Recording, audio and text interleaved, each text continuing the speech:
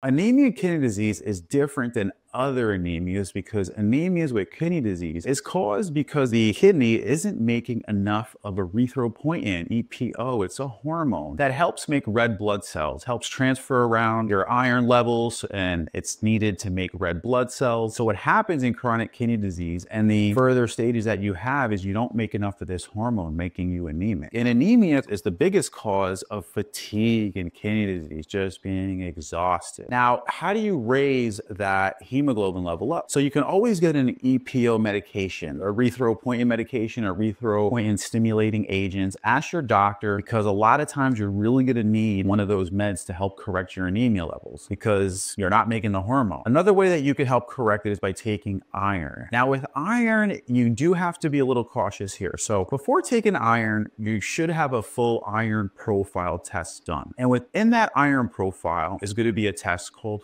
ferritin. That's a storage molecule of iron. That's one of the main values that we check your iron status by when you have kidney disease. So there is no optimal ideal range that anybody's come up with. We like the area of 100. That means you have good amounts of iron stores. Depending on the lab reference range, it can go anywhere from 10 all the way up to 150, 200, 250. It all depends on the lab value that they're using. If you're out of range on the ferritin, you don't want to take any extra iron. And even if you're at the high end of the ferritin, you don't want to take extra iron because extra iron, where you're outside the values of the blood work ranges for ferritin, is bad. It becomes actually something that's harmful to your body, causes oxidative stress, free radical damage. So you don't want to have a high ferritin. So before you go taking iron, make sure your ferritin isn't in a really high range because it does happen sometimes.